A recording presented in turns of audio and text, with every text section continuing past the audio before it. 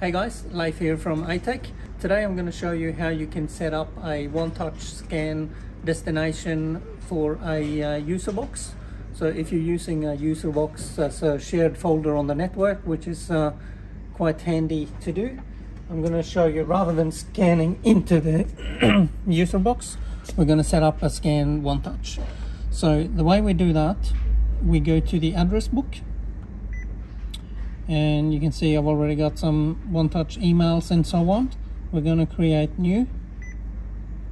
We're going to select the address type. So rather than email we're going to select user box as the address type. We're going to type in a name for the so this will be the name of the button. Uh, I'm just going to call call it uh, folder. In this case I'm going to make it a favorite and down here where you've got the user box you can click on the uh, select button and you can select if you had many user boxes you would see them all here.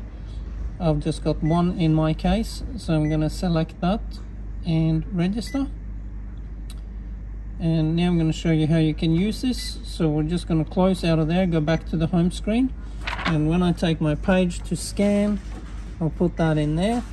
And we're going to hit the scan button and you'll see a new uh, a new button on there called folder the one that I just created and it's it's got the user box icon at the top. So uh, select that and hit start.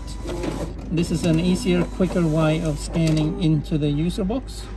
And just to show you how that works if I go into my in back into home and go into user box I can go in there and you can now see there's a few documents in there but the one I just scanned in is the one most recent one at the at the left there. I could have also given it a meaningful name but that's it. That's how we scan into the user box and then we can uh, browse that user box on the network just like a shared folder. That's it